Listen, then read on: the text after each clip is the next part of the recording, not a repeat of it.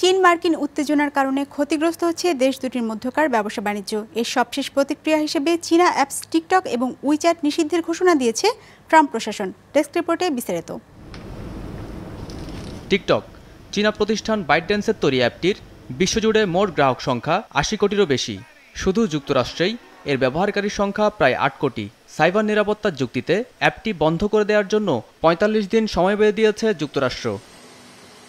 বেঁধে দেওয়া সময়ের মধ্যে টিকটকের যুক্তরাষ্ট্রের ব্যবসা মার্কিন প্রতিষ্ঠানের কাছে শতভাগ বিক্রির শর্তও দিয়েছে ব্যবসা বাঁচাতে টিকটক মাইক্রোসফটের সাথে আলোচনা শুরু করলেও তা আটকে যায় লেনদেনের কমিশন ট্রাম্প চেয়ে বসায় শেষ খবর হচ্ছে অ্যাপটির ব্যবসা কিনতে আগ্রহ দেখিয়েছে খুদে মেসেজিং সেবা Twitter We have all the cards because without us, you can't come into the United States. It's like uh, if you're a landlord and you have a tenant, uh, the tenant's business needs a rent, it needs a uh, lease.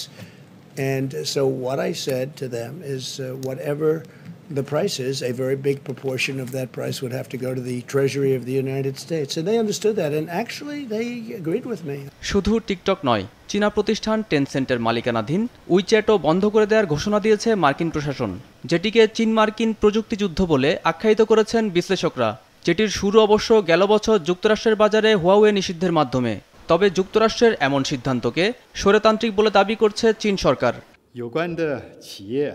মার্কিন সরকার জাতীয় নিরাপত্তার অজুহাত দেখিয়ে তাদের দেশে অন্য দেশের ব্যবসা প্রতিষ্ঠানগুলোর কার্যক্রমে বাধা প্রদান করছে। এটা স্বৈরাতান্ত্রিক কাজ ছাড়া আর কিছুই নয়। চীন মার্কিন নতুন এই যুদ্ধের ফলে যুক্তরাষ্ট্রে চীনা প্রযুক্তি প্রতিষ্ঠানগুলো যেমন বাধাগ্রস্ত হচ্ছে তেমনি চীনে বিনিয়োগ করা মার্কিন প্রতিষ্ঠানগুলো ভুগছে অনিশ্চয়তায়। মুস্তফা তাহান বিজনেস রিপোর্ট মাছরাঙ্গা টেলিভিশন।